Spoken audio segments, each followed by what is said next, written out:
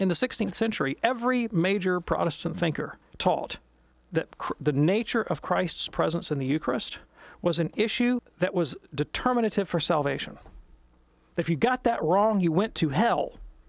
Luther thought that. Calvin thought that. Zwingli thought that. They all thought it. And yet they all disagreed on what the nature of Christ's presence in the Eucharist was. Now, my point here is not that they disagreed about the Eucharist.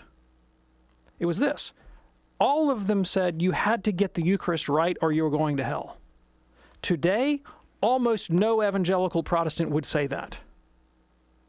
So it's not just a question about Christ's presence in the Eucharist, it's a question about how do you know what counts as a dogma?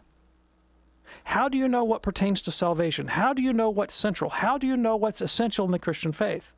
The Bible itself cannot, does not, will not answer that question for you. You've got to have the authority of the Catholic Church to answer that question.